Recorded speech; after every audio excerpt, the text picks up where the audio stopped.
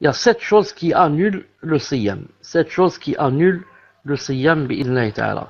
La première, la première, il a dit, Cheikh Rahmahullah ta'ala a dit, الجماع الجماع وهو إيلاج الذكر في الفرج فمتى جمع الصائم فسد صومه il a dit la première des choses qui annule le siyam c'est le rapport sexuel il a dit il a dit le jima le rapport sexuel c'est le fait qu'il y ait pénétration pénétration du membre, c'est-à-dire de l'homme, dans le membre de la femme. Il a dit Si maintenant il y a pénétration du membre de masculin dans le membre féminin, il a dit donc il n'y a plus, c'est-à-dire il a annulé son siyam. Il a annulé son siyam. On va voir bien sûr que ça c'est s'il savait que c'était haram, etc Il a dit, ثم إن كان في نهار رمضان والصوم واجب عليه لزمته الكفارة المغلظة لفحش فعله il a dit maintenant, si ce rapport sexuel a eu lieu pendant le ramadan, il rend le jeûne invalide, bien sûr. Non, il a dit, pour, euh, pour la personne dont le jeûne est obligatoire, et que ce n'est pas un jeûne nafila, un jeûne obligatoire, et qui commet cette chose, il fait un rapport, il doit expier sa faute en lui infligeant, en lui infligeant lourde expiation. Il a une lourde expiation à cause du ce qu'il a fait, à cause de ce qu'il a fait. Il a dit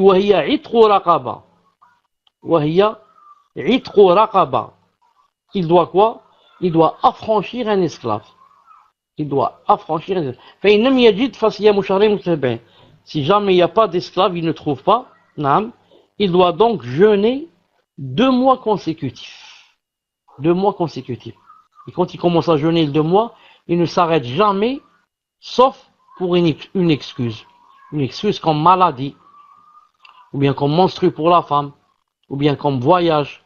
Car pendant le voyage, tu peux manger Dès que l'excuse se termine, il doit obligatoirement continuer et terminer les deux mois qu'il a, les deux mois. Maintenant, s'il ne peut pas jeûner, il a essayé, et vraiment il ne peut pas, alors il doit, il doit nourrir 60 pauvres. 60 pauvres, ta'ala. Maintenant, si, فإن كان الصوم غير واجب عليه كالمسافر يجامع زوجته وهو صائم فعليه القضاء دون الكفارة. Maintenant, si le, le, le siyam n'est pas obligatoire pour lui, comme par exemple le voyageur. Le voyageur, n'est pas obligé pour lui de jeûner. Maintenant, s'il voyage avec sa femme pendant le ramadan, et ensuite qu'il a fait un rapport, donc, puisque ce n'est pas obligé de lui pour de jeûner, donc il n'a rien fait de haram, puisqu'il lui est permis de manger. il lui est permis aussi d'avoir un rapport. Donc c'est pas haram pour lui. Celui-là, qu'est-ce qu'il fait? Celui-là, il doit rattraper un jour, yani après le ramadan, Donc ça c'est la première des choses qui annule le jeûne, c'est quoi? C'est le rapport sexuel pendant le ramadan, pendant la journée. La deuxième chose qui annule, inzalul mani bimubasharatin ou taqbidin ou dhammin ou nahwiha. فإن قبل ولم ينزل فلا شيء عليه ce qui, ce qui annule aussi le, le siyam c'est l'éjaculation l'éjaculation que ça soit yani, par le fait yani, de caresser ou bien dham, dham c'est yani, taqbil, comme le fait d'embrasser ou bien dham yani, il euh, enlace ou bien étreint yani, son conjoint il a dit quelque chose qui est dans ce sens s'il embrasse et yani, n'éjacule pas n'éjacule pas, il a dit il n'a rien. Il n'a rien, c'est-à-dire il n'a ni rattrapage, ni, ni il doit faire manger un pauvre, ni rien. Donc, pour résumer ceci, on va dire que l'éjaculation qui, l'éjaculation qui annule le jeûne, il faudrait qu'elle soit, yani, comment dirais-je, que ce soit la personne yani, qui la fasse sciemment. Sciemment. Ce n'est pas comme par exemple une personne qui a éjaculé pendant, pendant qu'elle dormait. Celle-là, yani, elle, euh, yani, elle continue à jeûner normalement, seulement elle se lave pour, pour prier. Pour prier. Mais si maintenant la personne fait ça, euh, l'éjaculation, on ne parle pas de, du rapport sexuel, bien sûr. L'éjaculation, par exemple, il embrasse, il embrasse jusqu'à ce qu'il ait éjaculation. Ou bien il joue avec sa femme jusqu'à éjaculer. Dans ce cas, qu'est-ce qu'il a fait? Dans ce cas, il a annulé son siyam et il a un péché et il doit rattraper le jour. Pour Sheikh al-Albani, il dit il n'a pas de péché.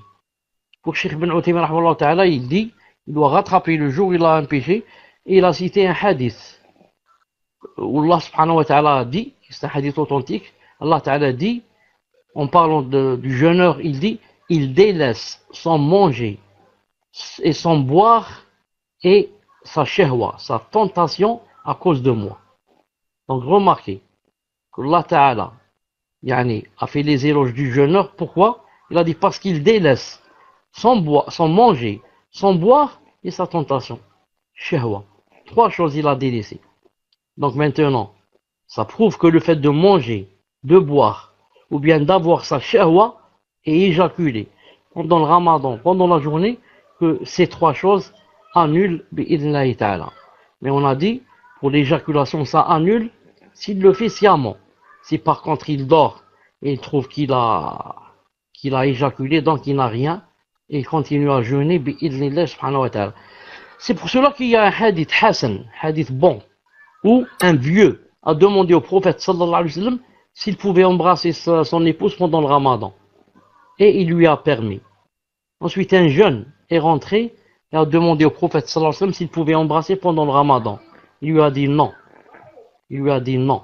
Pourquoi? Parce que le vieux, en général, il peut se retenir. Et euh, sa tentation n'est pas comme la tentation d'un jeune qui, s'il commence à embrasser, la plupart du temps, ça va se terminer par un rapport. Et si ça se termine par un rapport, c'est très grave pour lui. Car, à moindre des choses, il doit jeûner deux mois consécutifs. Et deux mois consécutifs, ce n'est pas une chose facile. La troisième chose qui annule le jeûne, qu'a cité le cher, c'est le fait de manger ou de boire. De manger ou de boire, yani, pendant le ramadan, comme ça, sciemment, comme ça, yani, yani, en sachant que c'est le ramadan, et il va manger ou bien il va boire. Que ça soit par le biais de la bouche ou que ça soit par le biais du nez. Quel que soit ce qu'il a mangé ou quel que soit ce qu'il a bu. ولا يجوز للصائم أن يستنشق دخان البخور بحيث يصل إلى جوفه. il a dit de même que la personne, ça ne lui est pas permis pendant le ramadan de, de sentir exprès la fumée de l'encens. Vous connaissez l'encens, c'est comme du muscle comme ça qu'on brûle et ensuite il commence à donner une fumée qui a une, bonne, une bonne odeur. Si quelqu'un va vers cette fumée spécialement pour la ressentir comme ça avec le nez, pour l'inhaler avec le nez, il la faire monter dans le nez. Il a dit ça, ça annule le jeûne. Certains savants ont dit bien sûr que ça n'annule pas, mais Cheikh Rahimahullah Ta'ala est de l'avis que ça annule. Il a dit, euh, il a dit parce que la fumée, la fumée, c'est considéré comme une substance. Et donc ça va arriver au, ça va rentrer dans le, dans le ventre, dans l'estomac. Donc c'est pas bien de le faire car ça annule d'après le shir. Ça annule. Quant au fait, il a dit de respirer comme ça, de sentir les bonnes odeurs, il a dit ce n'est pas interdit. Pour la personne qui sent un parfum, ou là, ce n'est pas interdit. Mais par rapport à l'encens, il a dit il faut aller prendre le garde. Quatrièmement, ce qui est nul, il a dit tout ce qui a le jugement qui ressemble au fait de manger et de boire. Comme les, les perfusions qui contiennent des matières nutritives, nutritives, comme le sérum par exemple. Il a dit qui nous permet, ces seringues ou ces perfusions qui nous permettent, par exemple, de, de s'en passer. De s'en passer du fait du boire et de, de boire et de manger. Quant aux perfusions qui ne contiennent pas de matière euh, nutritive, elle n'annule pas le jeûne. Qu'elle soit intraveineuse ou bien qu'elle soit dans les muscles. Il a dit, ça n'annule pas. Cinquièmement, il a dit ce qui annule, يعني إخراج دم الدم بالحجامة. il a dit c'est le fait de faire la hijama pendant le ramadan, pendant le jeûne. Il a dit ça annule le siyam.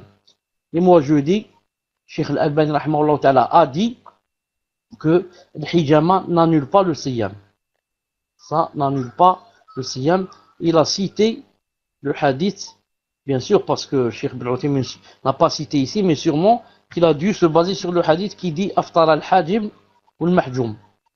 Aftara yani, a annulé son siyam, le hajim, celui qui fait le hijama, et celui à qui on a fait la hijama. Mais Cheikh al-Bani a dit, ce hadith est authentique, mais abrogé. Après, après avoir dit ce hadith, le prophète sallallahu alayhi wa une fois, yani, pendant le ramadan, a fait la hijama. Il a dit donc, ce qui prouve que c'est permis de faire la hijama pendant le ramadan. Et Inch'Allah Ta'ala, c'est la vie le plus fort, à condition bien sûr que quoi? Que je sache que ça ne va pas m'affaiblir au point où je ne vais plus pouvoir jeûner. Maintenant, si je sais que ça va m'affaiblir au point où que je vais plus pouvoir jeûner, je n'ai pas le droit de faire la hijama pendant le ramadan. Donc cela dépend de la personne. Et sixièmement, ce qui annule, annule le jeûne, le fait de vomir, yani, sciemment. C'est-à-dire, c'est moi qui choisis de vomir et je vomis. Hein. C'est comme euh, la personne qui va rentrer son doigt yani, dans son gosier pour, pour vomir. Il a dit, si quelqu'un fait comme ça, elle a annulé son jeûne. À cause du hadith qui dit que toute personne qui, dans le vomissement, yani, euh, l'a dépassé et il est sorti de lui-même, il a dit ça n'annule pas. Il a dit, mais si la personne, c'est elle qui se fait vomir, elle a annulé son jeûne. C'est un hadith authentique, en ce sens. Donc, Sheikh Ibn dit que, montre que, celui qui se fait vomir pendant le ramadan, il a annulé son jeûne. Et, dans un autre livre, il a montré que c'était interdit de se faire vomir. On se fait vomir quand, quand on, est en train de jeûner un jeûne qui n'est pas obligatoire. Si maintenant j'ai envie de vomir, je vomis, je, je mets mon doigt et alhamdoulilah. Mais par contre, si c'est pendant le ramadan, il ne faut le faire que vraiment en cas de contrainte. S'il n'y a plus de solution que de se faire entrer le doigt, on le fait. Sinon, on ne le fait pas, car on annule son jeûne. Et c'est haram d'annuler son jeûne. Naam. Dernièrement, sabi'an, ce qui annule le jeûne, khuruj dam al-hayd nifas. Khuruj al-hayd par rapport aux femmes, les monstrues et les lochis.